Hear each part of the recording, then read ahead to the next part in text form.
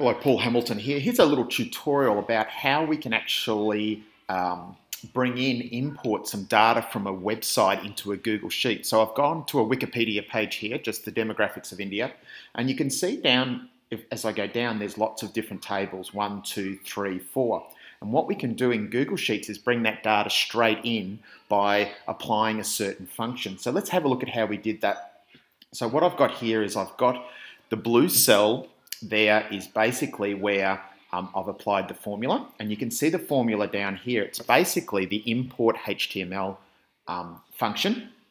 And I've basically got in brackets the actual website, um, and then a comma, and then table, and then the table that I actually want the data to be brought in. So if I actually change, if I can click in here and change that table to table, say, uh, 5, it will import that data from that website into my spreadsheet here as it's loading. It's taking a little while to do so.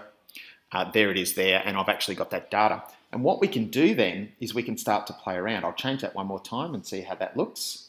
Let's go to table 6 and see what table 6 has on that website. Takes a little while depending on, and I've got quite a detailed information there. So I've got population male. Let's do something with that. Now that we've imported it, we can actually get the kids to start to make sense of it. So let's look at some of these places here, um, highlight those cells, go up to plus and create a little chart.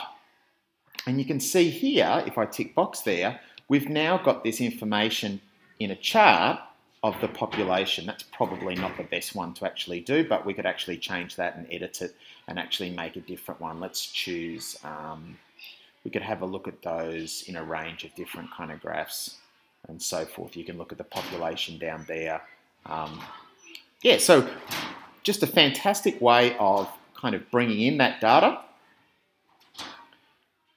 And you can see all that information that's been brought in using the tools of Google Sheets to actually bring about um, a function and to bring that in. And you can see there, you basically click on the FX, search your functions or even just type in import HTML and then all you need to do is put the website with the table, comma, and then the table on the actual website. So on the website here, you can see there's a range of different tables going from one downwards and then you can import them.